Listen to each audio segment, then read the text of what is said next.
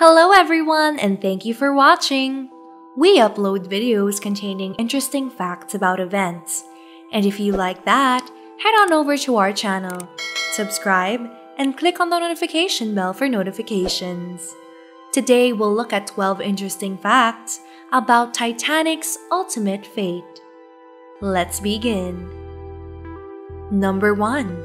Many of the floating dead bodies were not recovered the RMS Carpathia came to the rescue and got people on lifeboats on board. They had just gotten from New York and were more than happy to get survivors safely back on land. The Titanic's destination was New York City, but more than two thirds of her passengers perished in freezing waters in the middle of the North Atlantic. Many ships came to the crash site only to find nothing as the floating dead bodies were already tossed miles away by the rough sea. Oceans have gigantic waves, especially this crash site which was very far from land, and so the waves scattered objects that fell off the ship within minutes. Search efforts to recover bodies were not as fruitful as they thought it would be. Number 2. Survivors lived to pursue their ambitions despite the traumatizing event. Richard Norris Williams was a professional tennis player who was on board the Titanic with his father. He also inspired a scene in the 1997 film Titanic, where he helped someone who was stuck in his cabin, and a steward told him that the management will have to charge him for the door he broke. As the ship was sinking, he and his father jumped into the water. Unfortunately, he lost his father to the crash of one of the ship's four funnels. He was able to take off his coat and shoes in order to propel himself to safety. He grabbed onto a lifeboat, but with his legs submerging in the chilling water for hours. He later survived frostbites, but his doctor suggested amputation. Norris, not wanting to cut his tennis career short, decided against it and did physical therapy instead. He ran every two hours, even waking up at night to go for a jog.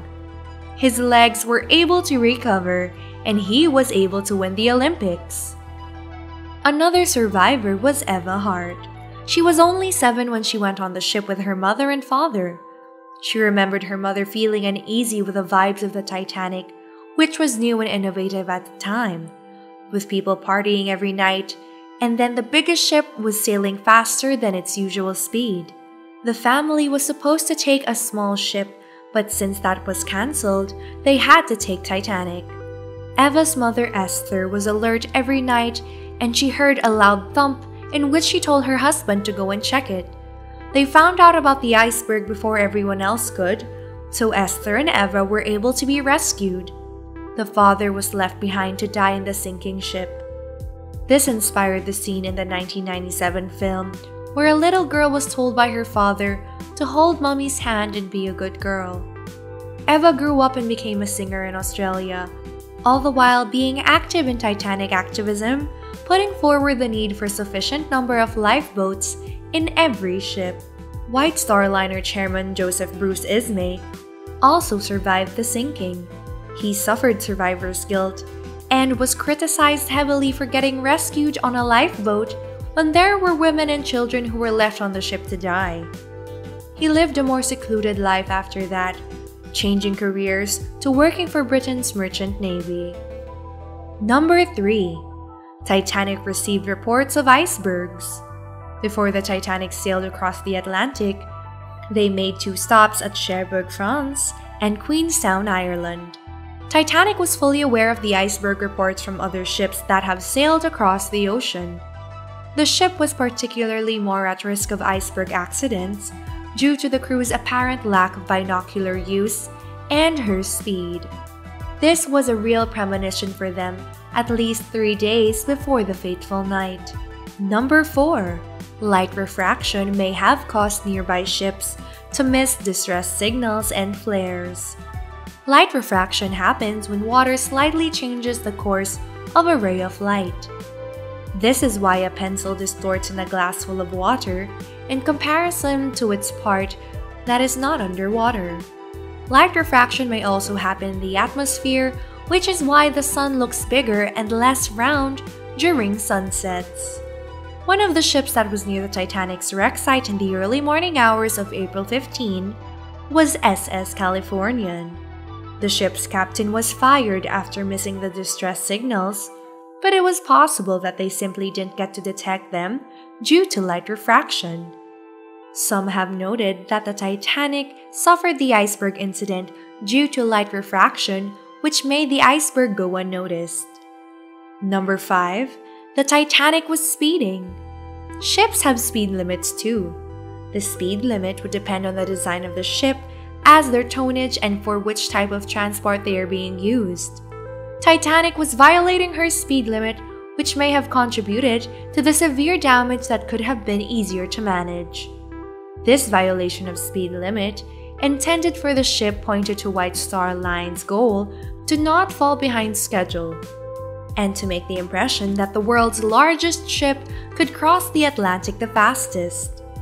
This kind of recklessness was also the reason why Titanic's service ended so fast too. Number 6. It was a code of conduct for crew to have women and children abandon the ship first. This is called the Birkenhead Drill, and it had been practiced since 1852. This in itself is tragic for families and lovers aboard, as they would be separated with the possibility of never seeing each other again. A passenger can only hope they would see their husband, or dad, or lover in New York City after everyone was rescued. This code of conduct was also a subject of controversy involving sexism in the 20th and 21st century. Today, it does not have a basis in international maritime law, but it remains a code of conduct for ships everywhere. Number 7. Titanic didn't have enough lifeboats. In order for everyone aboard to be rescued, the Titanic would have needed 60 lifeboats. They decided not to go with many lifeboats since they didn't want the deck to look cluttered. The Titanic only had 20 for her maiden voyage, which was obviously critically low. If that wasn't bad enough, the first few lifeboats weren't even filled. The maximum capacity was 65. With the ship being so unprepared with lifeboats, they were truly concocting the world's most tragic maritime disaster at the time. Number 8. The crew didn't have binoculars.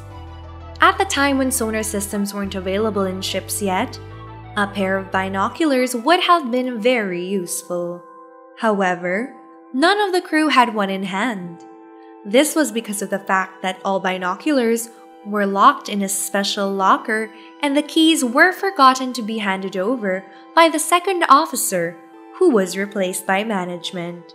Second Officer David Blair was so in a hurry to get off the ship that he forgot about the keys and realized it only three days after the Titanic had left Southampton. This simple error became a major factor in the tragic sinking. Number 9.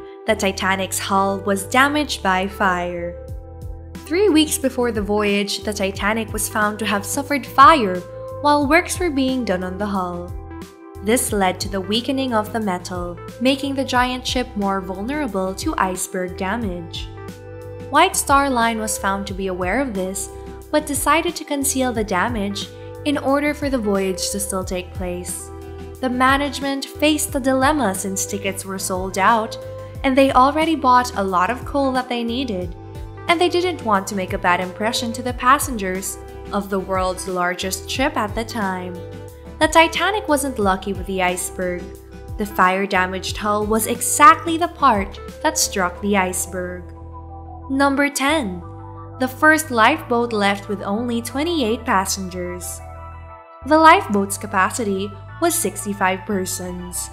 However, it was not the case for the first lifeboat to be launched. For this reason, the crew in charge of Lifeboat 1 was severely criticized, as well as the captain of the ship, Captain Edward Smith. More passengers could have been rescued, Instead, they were left with a harsh reality to die in cold seawater. If only the management had more competent crew and captain. Number 11. RMS Carpathia came to the rescue. RMS Carpathia had just left New York City, but returned in order to bring survivors to land. The RMS Olympic, which, just like the Titanic, was built by the Harland and Wolff shipyard and operated by White Star Line, got their distress signals, but they were 500 miles away, and the Carpathia was already on their way to rescue the survivors. Number 12. Shipwreck survivors cannot swim close to an iceberg. Icebergs aren't islands where one can swim to safety.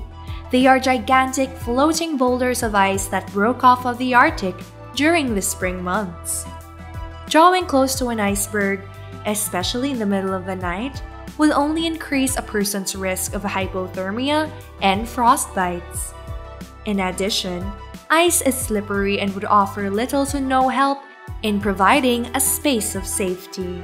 It is best to get on a boat and call the attention of ships to be rescued. These are some of the not so well known facts about the sinking of the RMS Titanic back in April 1912. There sure is a lot that we didn't learn from the movies. Be sure to subscribe for more related content and like, comment, and share this video. Thank you for watching and we'll see you in the next one.